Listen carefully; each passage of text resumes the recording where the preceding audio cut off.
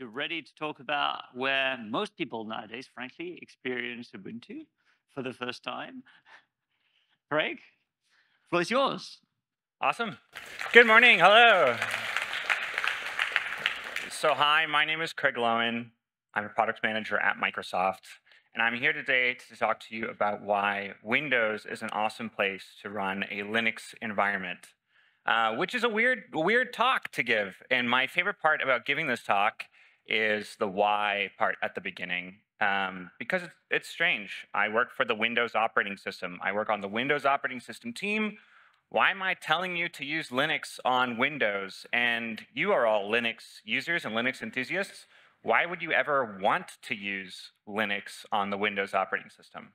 And uh, that's really the goal of today, is to, to show you what that's all about, why we do this on the, the Microsoft team, um, and kind of our goals and, and, and some fun demos. And so specifically, I work on the developers for Windows team, and our goal is to make uh, the Windows operating system as awesome as we can for developers, to make it as fun to use, as interesting to use, and as powerful to use as possible. And I think for some people, you know, the, the image on the screen is Windows on the left, Linux on the right, and our goal is to bring them together as much as possible to make the Windows subsystem for Linux. So that's why we actually created this. And if you haven't tried out the Windows subsystem for Linux or WSL, um, what that allows you to do is run a full Linux environment directly on the Windows operating system. It's true actual Linux. We have an open source Linux kernel. We run actual Linux binaries provided by the distro maintainers themselves, like Canonical, um, with Ubuntu being our most popular distro and it is run by millions of users.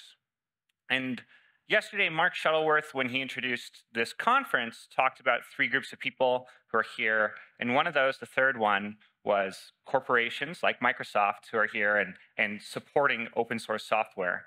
And yes, that can be for selfish reasons, um, but I can actually break down for you why we do that. So on my team, the key result that we have every year that we look at is how many users are using the Windows operating system, and that's my department. And on my team specifically, I look at how many people are using Linux workflows on Windows, because our goal is to make it as easy as possible to use these different workflows um, on the Windows OS. And where that applies for you is you are either developing open source software for people to use or using it yourself. And if you're developing it, WSL existing improves the reach of what that can go to, to different users. I'll give Moonray as an example. Yesterday, uh, there was an awesome talk by the Moonray team about how they open sourced their uh, ray tracing technology and put it online as open source software. They are an entirely Linux shop. They don't run Windows, um, but that's not the case in the ecosystem. And so when they open sourced, they wanted people to be able to go use it right away, and they didn't want to port directly to Windows because they don't have a need to do that, and that takes a lot of development time. WSL existing allows you, all the users who are in the open source world who like using Windows to immediately be able to use that and contribute to your project. So there's already a direct benefit if you're developing software. And then if you're using open source software, um, Microsoft developing and supporting the open source ecosystem benefits you. As well, if you're forced to use a Windows computer, you have Linux available to you as well, so you can try it um, and use Bash as you want. And these are actually, I really only have four slides in this deck because I want to show you a lot of demos today of what that looks like in action. So we're going to hop out of my deck and we're going to go to my desktop and I have some different demos of cool stuff um, that I want to show you about how you can use WSL and some of the latest innovations that we've done at Microsoft to improve Linux workflows. And so here I have Windows Terminal, I have Ubuntu, and I'm just going to make sure that I'm running Docker. Great, I am. And uh, we can go and run this project. So I'm going to run code, and I'm, I run VS Code. And I can go and open this project up just by running code-insiders. And what you'll notice is even though I'm running this in a Linux context, so I can go to pwd, you can see that this is actual Linux that I'm running. It's all running on the Windows UI and Windows stack. And so the, the ethos of WSL is very apparent of it all feels exactly like the same machine. And I'm going to just reopen this inside of a container. And why that is, is because Windows, uh, we work with GitHub. Microsoft works with GitHub a lot. And uh, we have dev container definitions, which allow you to specify a Docker container to, to control your project, to control the state of your project, which I've done here. And it works great for especially difficult projects, which is what we're going to be running today. Um, we're actually going to be running a large language model and image generation locally on this laptop. Um, and so the scenario that I'm going to describe is put yourself in the shoes of a game developer. You want to supercharge your game with AI.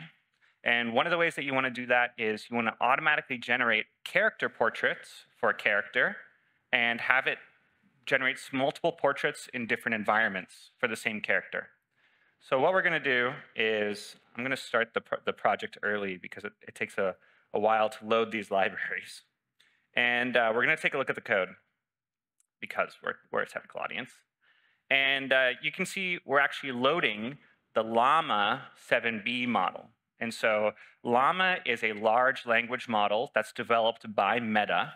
And this was actually open sourced in collaboration with Microsoft.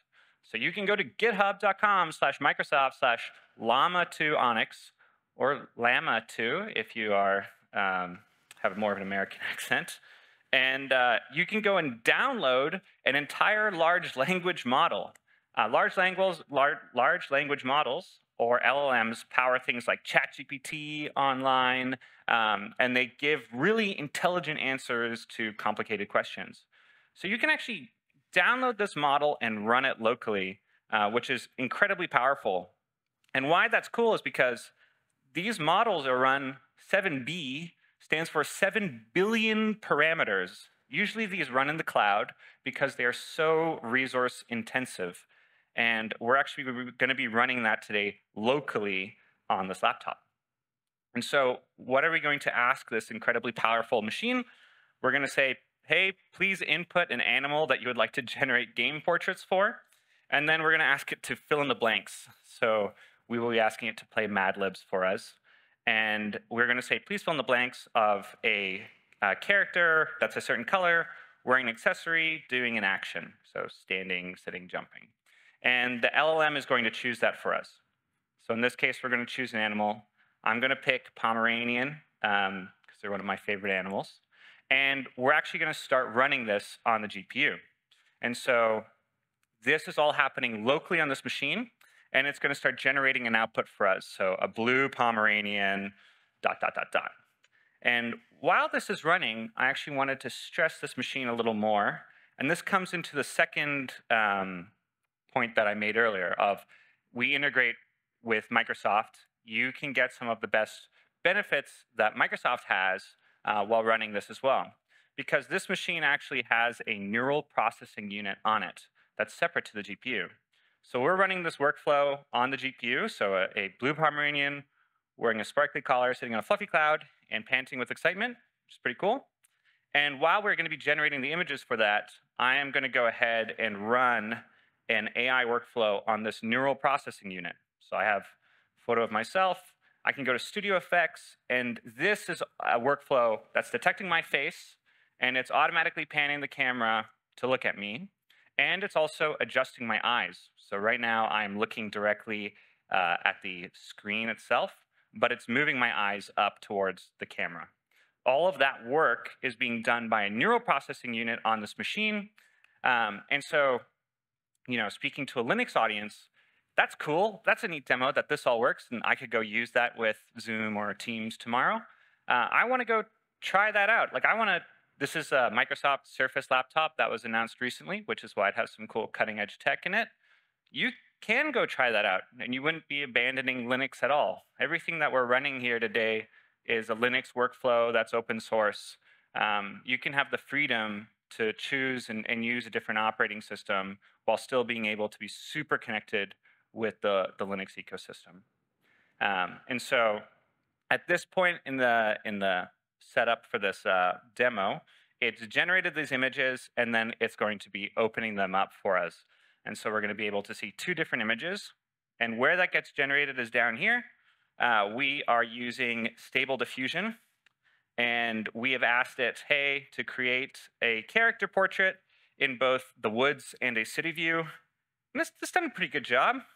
Uh, we have a blue Pomeranian dog wearing a sparkly collar. The cloud part, it didn't really get so much, but it is both in the woods and in a city view. Um, and so in this way, you know, this was an example of this is an open source project and one that's the code's available online. All the tools that I've used are open source. And we got a really cool advanced AI workflow happening right here locally on the machine. Last thing I'll point out is you might notice, for those of you with sharp eyes, that this is a uh, GTK tiling up here. And so this is actually a Linux GUI app that is running um, directly on this machine, which is uh, very cool because it even shows up here in my task manager. It's directly integrated with Windows. And again, that's the goal of and the beauty of the Windows subsystem for Linux. All of those work seamlessly together. And so it's, it's actually somewhat difficult to tell that I'm running a Linux app and a Linux workflow here. And that's why we actually put that little penguin tux on the bottom right of those taskbar icons to help you differentiate. Um, I want to show you some other demos as well. And we're going to flip over machines to do that. So this ran locally on this device. Um, what I'm actually going to do is jump to another device. And so one of the other cool things that we do at Microsoft is we have this project called Microsoft DevBox. And so you can run, let me go to devbox.com. Actually, that's more fun. Um, you can go and access a machine anywhere in the world and run the same machine inside of the cloud. So I have a DevBox that I actually use when I'm traveling um, to do all of my work. It exists here in the cloud, and all I can do is you know, go connect to it. And then I can go and open this and interact with this wherever I am. And that's cool. Uh, some of you in the audience might go, okay, like why does that matter for Linux? And uh, the obvious answer there is uh, because it is powered and works, sorry, it works great with the Windows subsystem for Linux.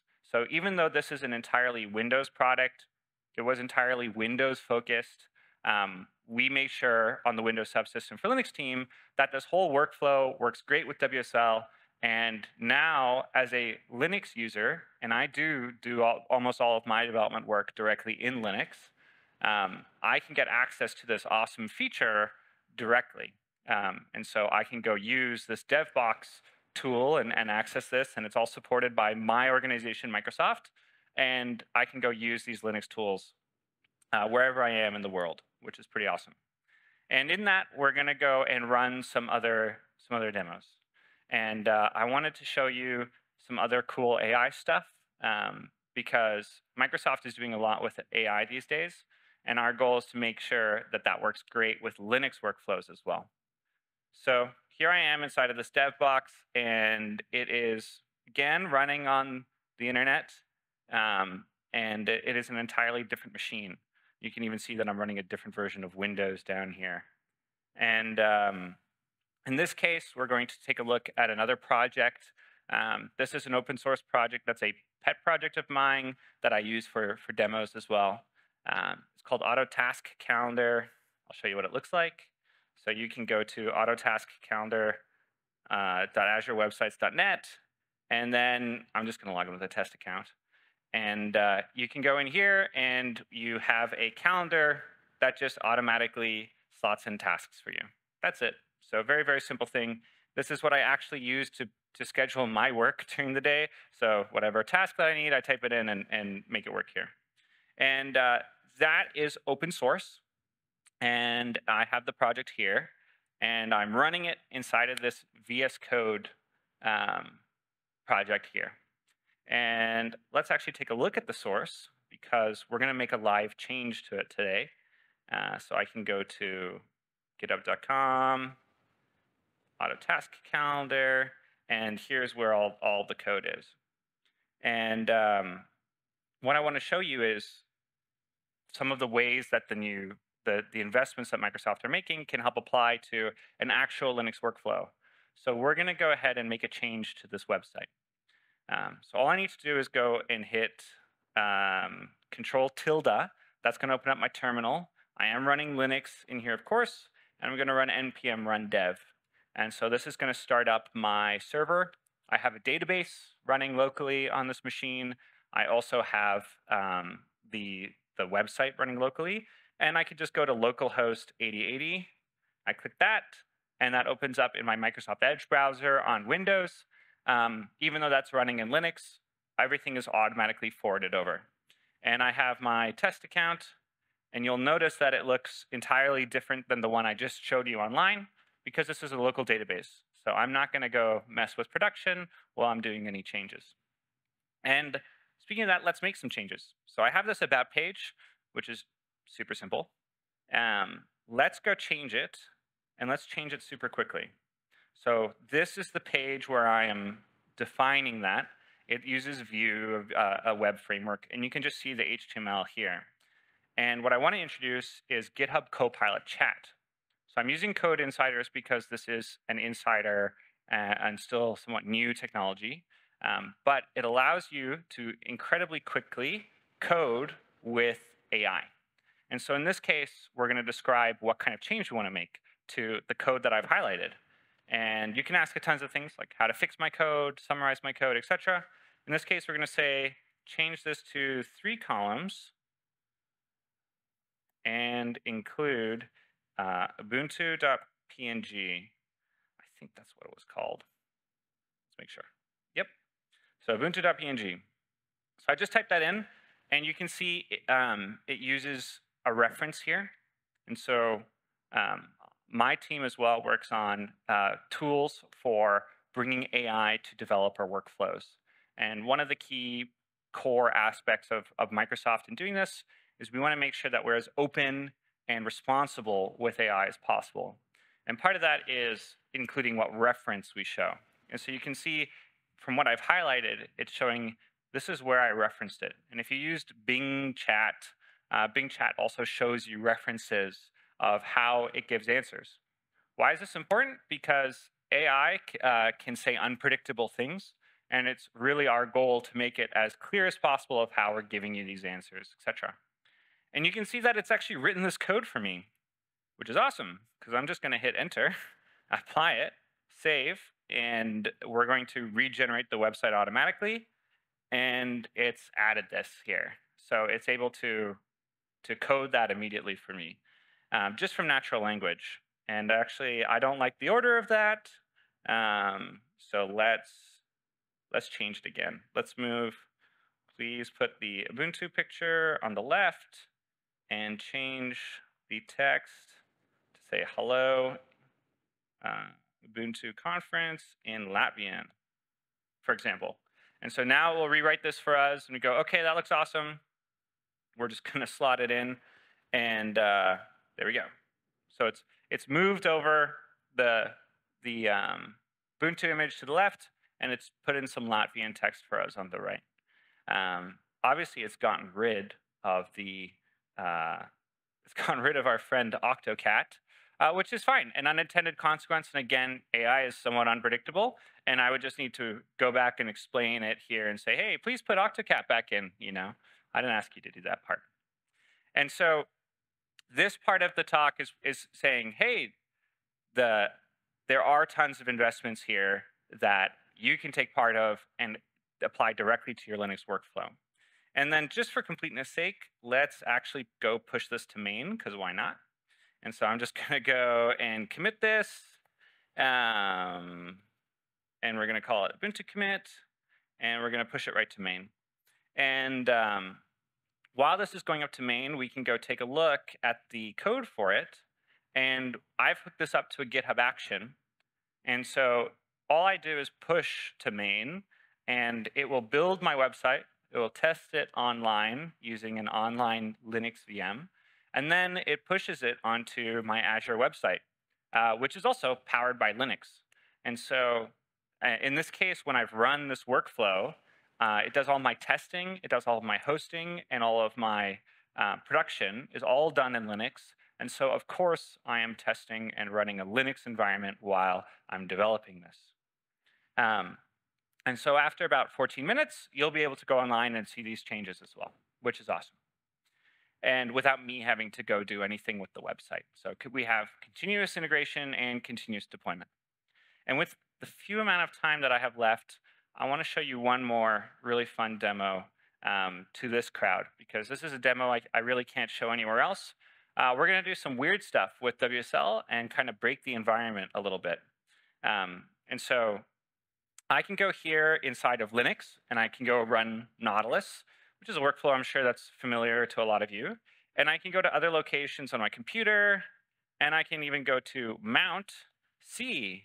Now I'm in my C drive on Windows and I can go to a folder, like I have a folder called uh, temp here. Um, here we are. And I can even go and let, us open my logs folder. I have some, some logs here, like an MSI logs.txt. I can go and open that with a text editor like gedit. And you can see this is um, all running on the, this is a Windows file. So I can actually navigate to where that is um, here on my machine. But I can go and open this entirely within Linux. And so it's as open as possible, right, one way or the other um, I can go and access all of my Linux files directly from, from um, I can access my Windows files directly from Linux. So this is the exact same file here that I can open in Notepad. But we can also do it the other way around. And let's have, let's have some fun with that. Because I can go to PowerShell, okay, and I'm going to go to CD users and clear this. And I can go to WSL localhost, and then I can navigate to Ubuntu. And so I can actually go to my Ubuntu root directory from within PowerShell.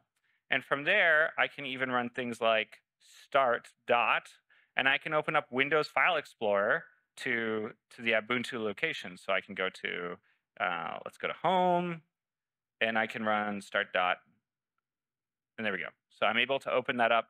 You'll notice this Linux integration here. Um, this is me accessing these files inside of uh, Windows as well. So it's, it's open the other way. And then where it gets really fun and, and kind of hilarious is we can do things like TTY here, which will tell me my um, communication to this prompt. It's at dev pts 0. Okay, so let's go there on Windows and see what happens.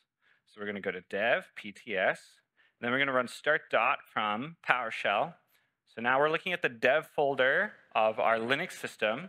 And uh, I'm going to open the TTY0 with Notepad from Windows. And uh, we're going to see what happens when we save that. And so if I go here and I write hello world and I save from Notepad, it will actually write to my TTY inside of Linux. And uh, you're the only audience that enjoys this demo, by the way. Uh, so uh, it's my favorite to give. And then while I have just one minute left, I'm actually going to close off with the slides that I have. Um, and we're, we're going to chat about basically the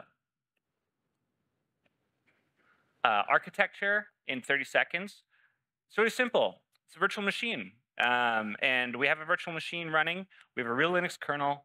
The actual distros themselves provide the binaries. And the magic is all done in that arrow in the top in the middle. We have tons and tons of integration to allow GUI apps, GPU integration, file integration, and more. Um, but at the end of the day, we are virtualized with tons um, of added bonuses that we've made to make it all feel like the same machine.